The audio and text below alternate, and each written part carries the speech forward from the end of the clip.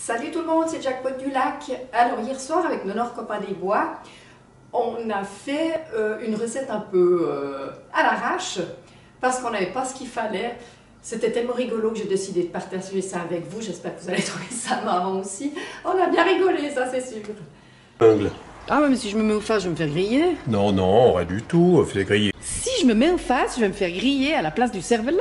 Oui. Donc, je monte l'installation en face pour changer d'angle, parce que c'est rigolo, comme ça. Puis après, je me casse parce que c'est dangereux. Non, c'est bon. hein.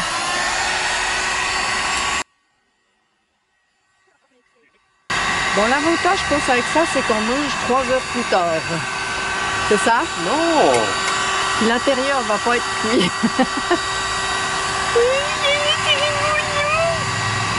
C'est moi qui ai suggéré, puis t'as eu la même idée, tu m'as dit. Hein? Ouais, ouais de- Une demi-seconde avant.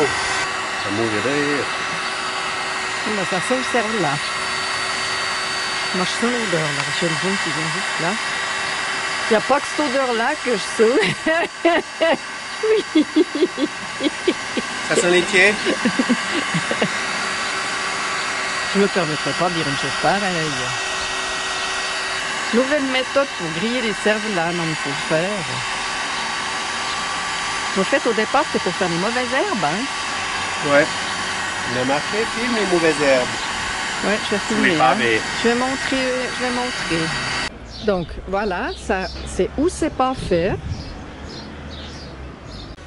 Et puis là, c'est où l'honneur a fait, avec ce même appareil pour griller les cervelas. Nickel. Puis ça, c'est une petite parenthèse pour le petit coquelicot, le premier de l'année. Il est mignon. Ça se précise, hein? Oui, oui.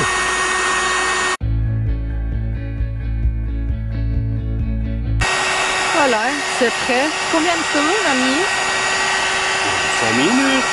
Oh non 2 heures. Alors, on va goûter maintenant. Je l'arrête. Bah, ça fait du bien que ça s'arrête, hein. On laisse refroidir. Non, pas le cervelas.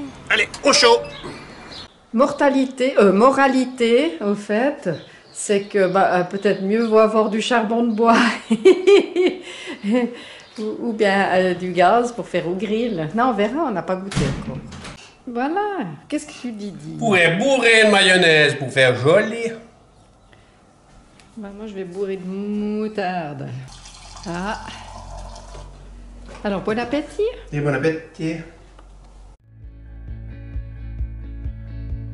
through the fields of our.